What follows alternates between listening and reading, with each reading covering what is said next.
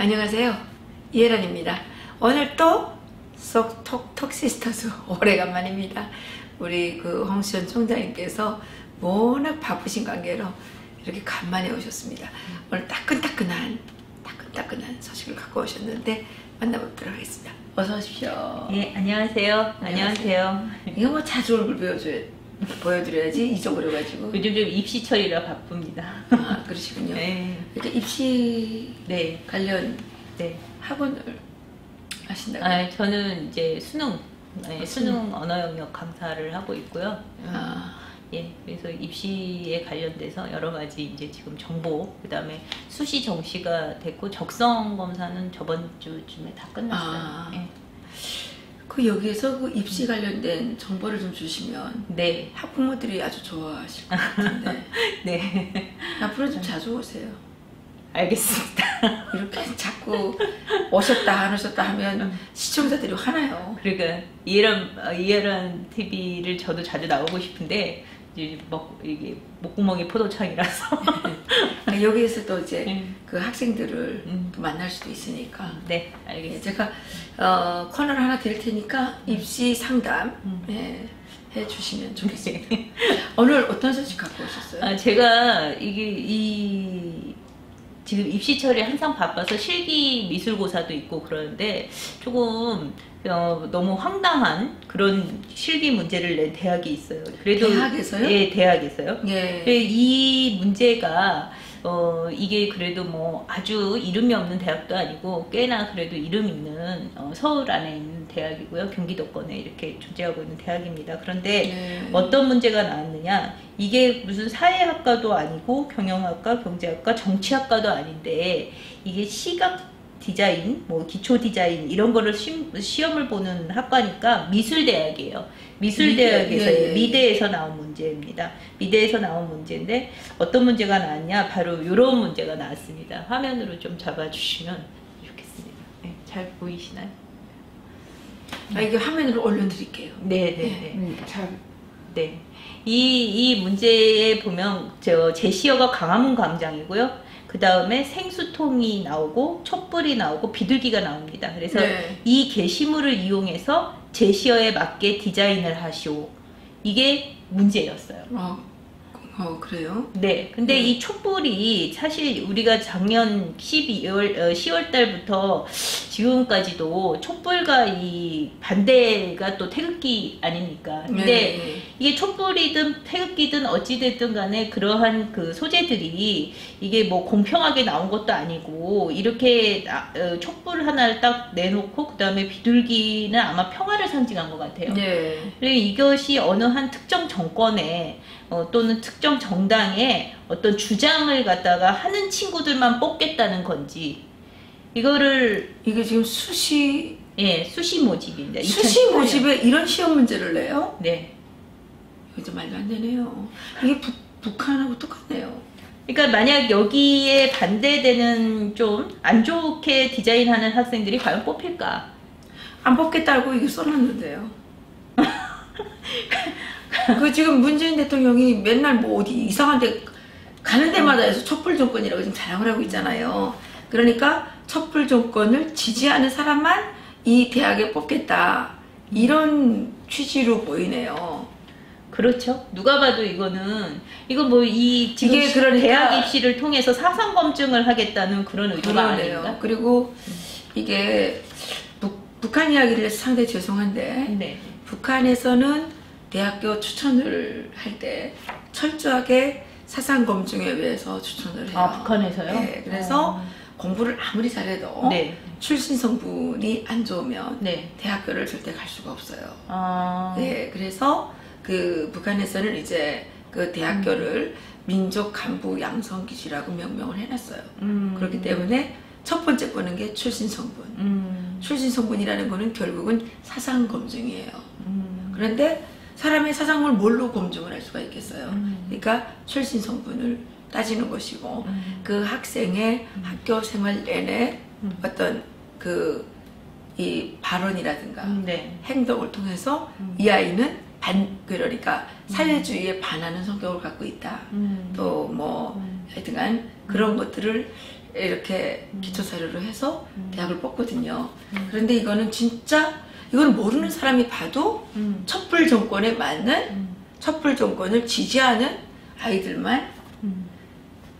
대학교에 뽑겠다고 그러네요. 이거는 지금 지금 그 대한민국의 지금 여러 정책들이 음. 지금 공산주의 쪽으로 상당히 많이 치우치고 있는데 이 그것처럼 그래서 이거를 본 어떤 선생님께서 총장실에 항의 전화를 했다고 합니다. 아, 그래요? 네, 네. 항의 전화를 했는데 그 비서 말이 너무 이걸 확대 해석하는 거 아니냐. 그냥 이런 거 뭐 나올 수도 있지 않겠냐. 그러니까 첫째 총장이 알고 이런 걸 냈느냐 하고 물었더니 아마 총장 어, 교수들이 이렇게 이제 그 이 입시 문제를 낼 때는 합숙을 들어가요. 합숙을 들어가서 아? 못 나와요. 예, 이제 그 주제가 네. 잡힐 때까지. 왜냐면 입시 부정이 생기면 안 되니까. 아. 수능도 또 다 그런 식이거든요. 음. 그래서 이제 합숙을 들어가지만 최종 결정을 아마 총, 총장님한테 보고가 됐을 겁니다라고 그 비서가 이야기를 하더래요. 그래서 어떻게 그런데도 불구하고 이런 문제가 나올 수 있도록 했느냐 그랬더니 너무 확대 해석이 아니냐.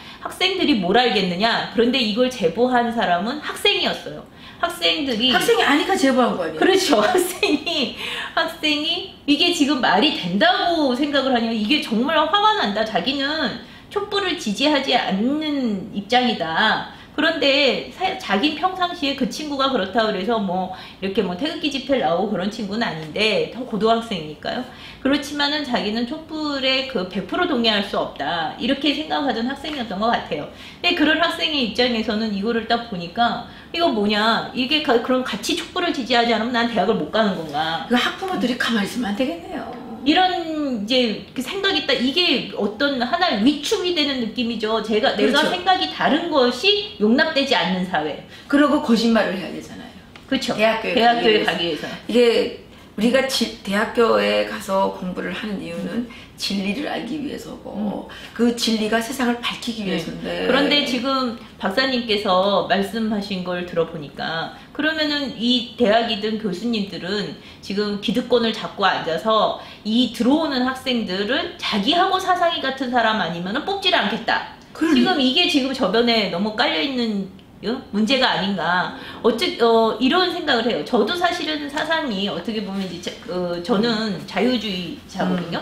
저도 학생들을 가르칩니다. 그리고 저도 학생들을 만나면 사실 내 사상에 대해서 주관적인 얘기를 하고 싶지만 그렇지만 학생들한테 아직까지 그런 것을 너무 주입적으로 이야기하면 안 되겠다는 생각이 들어서 어 뭐 혹시 수업 중에도 그런 이야기가 나오면 이건 선생님 생각이야. 어 이걸 반드시 앞에 붙여요. 내 생각은 이래 그냥 이거를 반드시 붙여요. 그래도 아이들은 선생님 생각이 그렇다니까 보통 따라오는 경우가 많이 있기는 한데요. 이거는 대놓고 아이들이 너 내 생각대로 안 하면은 너희들은 아웃이야.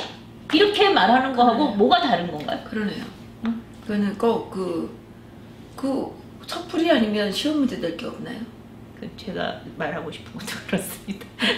이거를 본 대부분의 학생들이 옛날 무슨 방공 포스터 어, 그렇게 욕을 하더니 방공 포스터보다 이건 더한 행동이에요. 지금 이미 촛불 그러면 그렇게 문 대통령도 촛불을 입에 달고 살고 계시고 지금 모든 언론이 무슨 촛불로 만들어진 그런 뭐 촛불 정권. 조- 촛불 정권이라고 스스로 막 이렇게 떠들고 다니는데 그럼 거기에 맞게 딱 연상이 누가 봐도 이렇게 되는 거지 이게 확대 해석이라고 그걸 지금 아주 구차한 변명이죠 이런 식으로 문제를 내놓고 아무 문제 제기가 안 들어올 거라고 생각하는 것 자체가 저는 문제가 있다고 그 대학교 자체가 문제가 있네요. 네 대학교 자체가 문제가 있다고 생각을 해요 그러네요. 음. 학부모들이 절대 참으면 안 되겠네요. 네, 네. 절대 이거는 어 그냥 조용히 넘어갈 문제가 아니라 이렇게 깊이 어 교육계 교육을 받아야 하는 아직 자기의 가치관이나 이런 것이 확고하게 형성되어 있지 않은 젊은이들에게 한쪽의 일방적인 평양이 주입되고 있다는 거 주입식 교육을 그렇게 많이 반대를 하는 사람들이 그런 막상 자기네 사상을 주입을 못 시켜서 지금 안달복달을 하고 있다는 거는 분명히 문제가 있다고 생각하고요. 그러네요. 이 부분에 대해서만큼은 제대로 하지 않는다면은 우리나라 앞으로 발전 가능성이 없습니다. 이게 이게 바로 사회주의식 교육이지 이게 뭐 다른 교육이 아닙니다. 여기 다양성이 존재하지도 않고 아무것도 존재하죠. 이게 뭐가 문제야? 이렇게 말하시는 분들은 그분들이 더 문제가 있는 거죠. 그런데 이거 제가 그냥 생각해 본 건데 첩불을 만약 경우에 그 지지하지 않아서 음. 대학교를 못 간다. 그렇게 되는 경우에 그 하나의 운명이 갈리는 문제 아니겠습니까? 그렇죠. 예. 네, 맞습니다. 근데 그 정말 어떤 운명의 아주 중요한 갈림길에 음. 있는 청년들에게 음. 청소년들에게 너무 잔인한 짓을 하고 있네요. 음, 그렇습니다. 아이들의 꿈을 죽이고 그리고 생각을- 권력 음, 권력의 노예가 되는 거 아니에요 이게. 그렇죠. 맞습니다. 권력의 노예를 원하는 거 맞습니다. 아니에요. 네, 그러니까 맞습니다. 사상의 그 사람들이 늘 떠들던 게 사상의 자유, 음. 다양성의 인정 이런 것들이었는데 음. 촛불이 아니면 인정이 되지 않는 이 획일성 음. 또 촛불이 아니면 절대로 안 되는 이 정말 독단적인 독, 아주 독선적인 음. 이런 거에 대해서 앞으로 역사가 정말 이거는 정말 기록을 해놔야 될 것 같네요. 네, 맞습니다. 그 오늘 정말 중요한 정보를 갖고 오셨네요. 근데 이거를 제가 봤을 때는 어 뭐 지금 유튜버에서 잠깐 이야기를 했지만 조금 더 제가 보니까 이게 미술 학원 쪽도 또 좀 연결이 되어 있고 그래요. 그래서 이걸 조금 더 조사를 하면은 제가 다시 한번 아 이게 미술 쪽인가요? 예 미술 그러면 더 문제네요. 음. 왜냐하면 지금 이 좌파의 그러니까 공산주의를 추종하는 사람들의 프로파간다가 음. 대부분이 문화적인 컨텐츠를 가지고 움직이고 네 있잖아요. 맞습니다. 그래서 음, 어떤 그 그림이나 음. 또뭐이뭐 문학 작품이나 음. 또는 뭐 만화, 영화, 방송, 뭐 이 노래, 음. 뭐 이런 그 네, 영화, 뭐 이런 그 문학 작품을 통해서 이거를 건드리죠. 예, 선전선동을 하기 때문에 이건 더욱더 음. 위험한 거네요. 사실 20년대 이제 마르크스주의가 들어와서 그 마르크스주의를 이론적으로 설명하니까 사람들이 공감을 잘 못하는 거예요. 학술적으로 설명을 하니까. 그럴 때 이제 소설이라든지 영화라든지 연극이라든지 이런 것을 통해서 사람들을 선동한 사례가 굉장히 많이 있습니다. 그래서 어, 그 부분에 있어서도 우리가 자기 자기 자신도 모르게 감성적으로 그냥 선동을 당하는 거죠. 보통 어떤 사람이 이제 흥부의 입장에서 소설을 쓰면 흥부가 참 좋은 사람인 것 같고 놀부의 입장에서 또 소설을 쓰면 놀부가 좋은 사람인 것 같은 게 이게 소설의 또그 그렇죠. 부분이거든요. 그래서 이거는 잘못하면은 객관적으로 어떻게 딱 냉정하게 판단할 수 있는 거냐 것이 아니라 이성적으로 판단할 수 있는 게 아니라 감성적으로 휘둘리는 거죠. 그렇죠. 사람이 이렇게 감성적으로 휘둘리면은 무슨 짓이든지 할 수 있는 겁니다. 그 어느 대학인지 찾아내가지고 네, 이, 이 대학 네, 그안 가는 운동 네, 네. 이 대학에 거부해야 되겠네요. 음, 그렇죠. 이렇게 빨치산들을 키워내는 음. 이런 학교를 빨치산인가?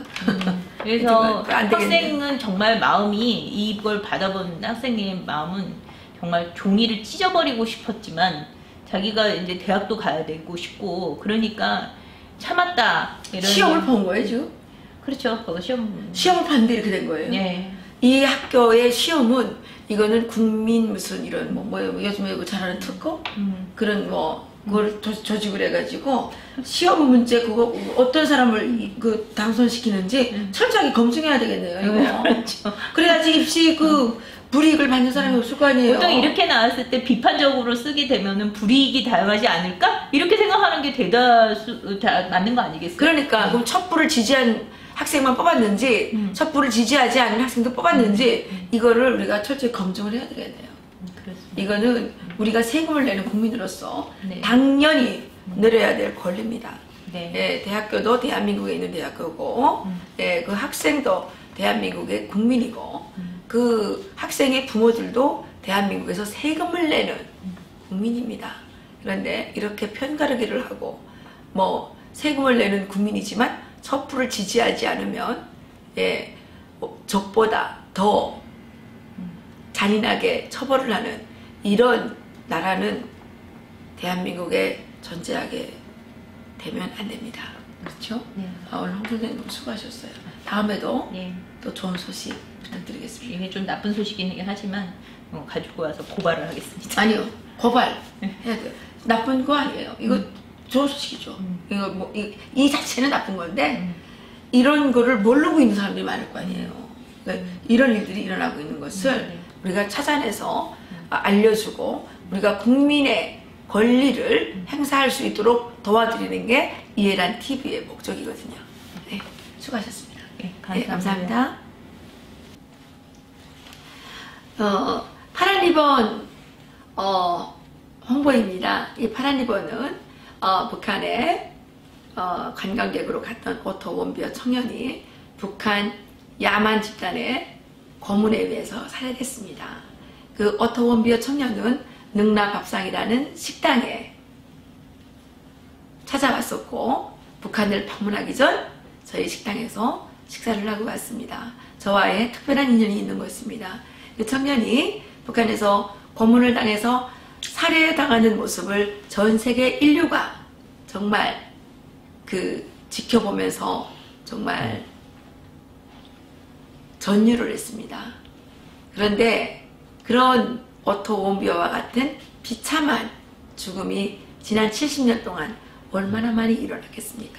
그래서 저희들은 이 파란 리본을 통해서 억울하게 살해당한 오토 웜비어와 북한에서 고문당해서 살해당한 북한 주민들을 추모하고 이 한미 동맹이라는 강력한 자유 시장 경제와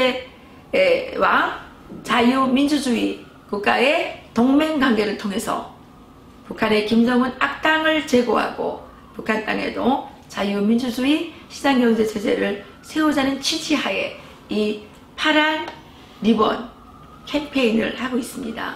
이 캠페인을 하기 위해서 저희들이 배지를 구입하는데 어, 배지 한 개당 2,000원의 비용이 소요가 됐고요. 이, 이것을 만 원에 팔아서 2,000원의 배지 비용을 제하고는 저희들이 그 기금을 모아서 트럼프 대통령에게 보내드리려고 합니다. 왜냐? 김정은을 제거하는 작전에 써달라고 저희들에게, 저희들의 자그마한 성이지만 보태려고 합니다. 만 달러만 모아지면 보내드리려고 하는데 여러분들의 적극적인 참여가 필요합니다. 지금 현재 1,300달러 정도 어, 그 적금이 되었습니다.